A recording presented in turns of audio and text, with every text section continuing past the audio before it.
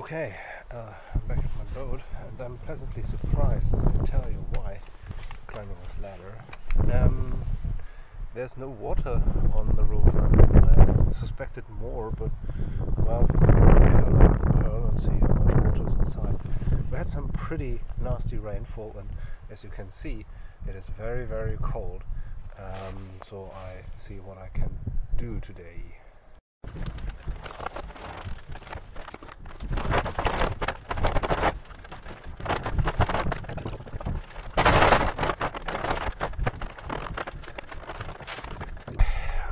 Boat is drying now, and uh, ooh, my hands are shaking. It's a bit cold.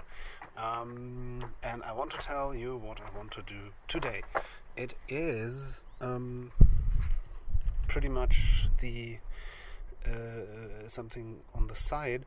I have bought those aluminum profiles, and I like to build a jig for today. Just a simple one for straight uh, rib cuts because um, especially for smaller things I think it might help me a great bit and I can try to use all those bits and pieces that I can't really use for the boat construction to do something useful out of them. Let's see how far I can go.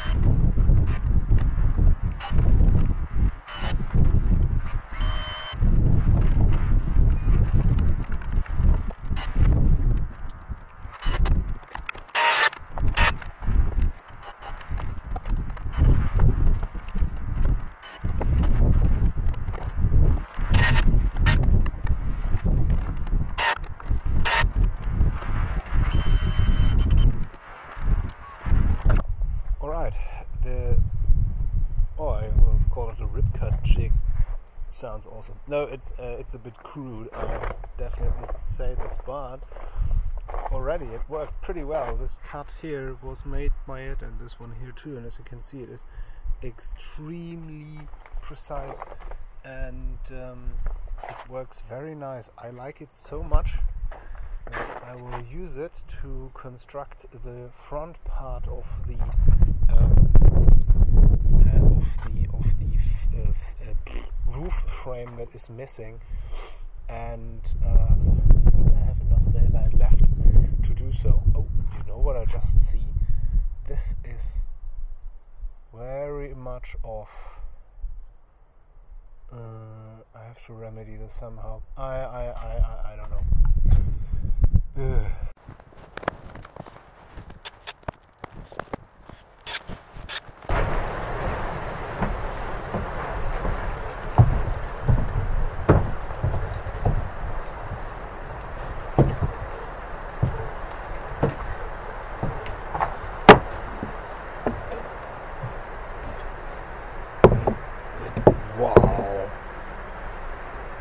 so precise. It's really scary.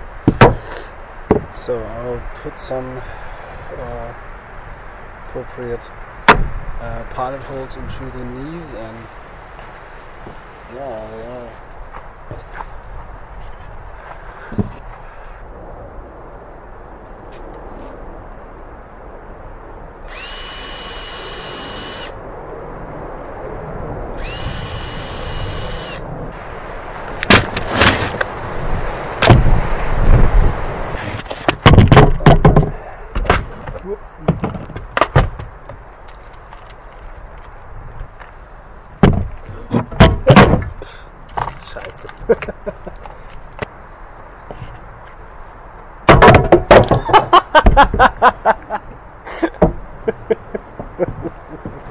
Wirklich zu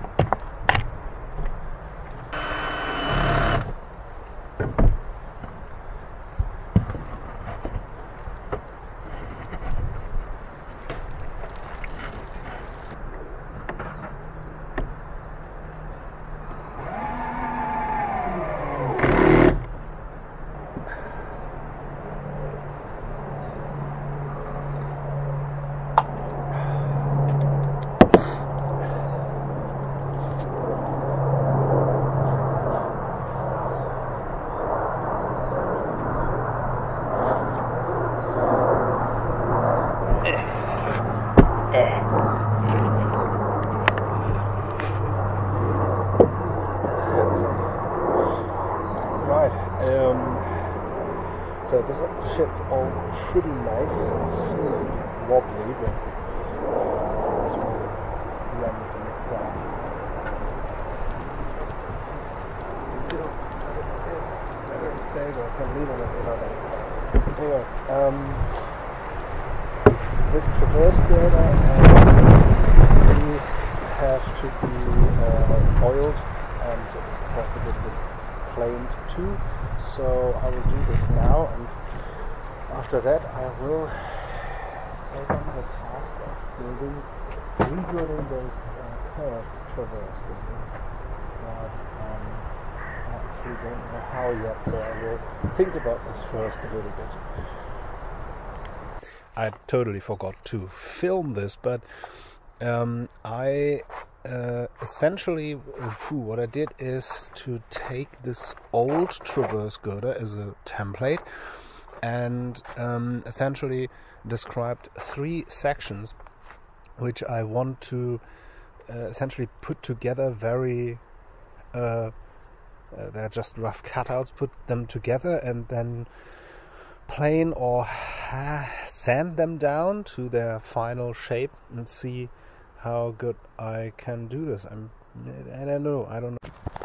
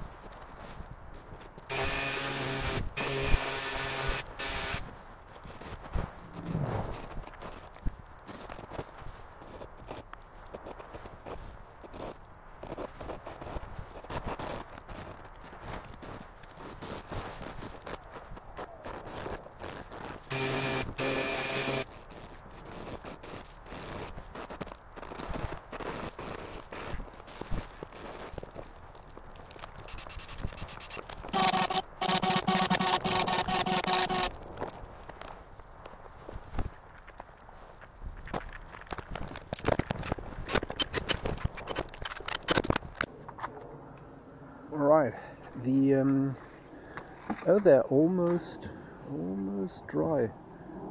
They are pretty much dry. Well, that was faster than I thought. Oh, maybe because it is a bit bit more cross-cutty, therefore. Oh, I don't, I don't know. Anyways, um, this one is very stable. Like it very much can almost shake the boat. See, and it makes funny noises.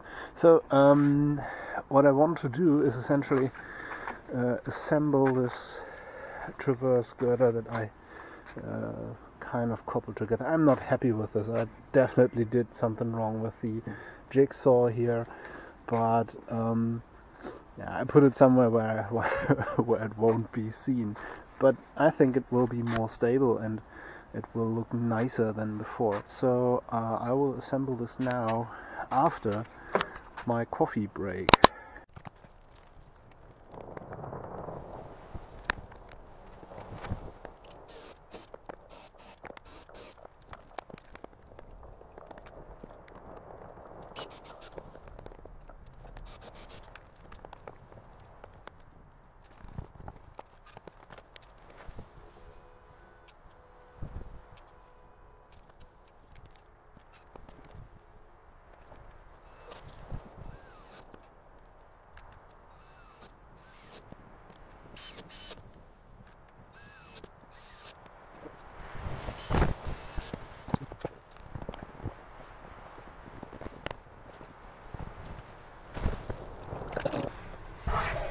That's the view from the cockpit. I'm sitting on the cockpit and the slide way, way, way to um, the transom section. Now I'm almost sitting where I would sit when I steer the boat.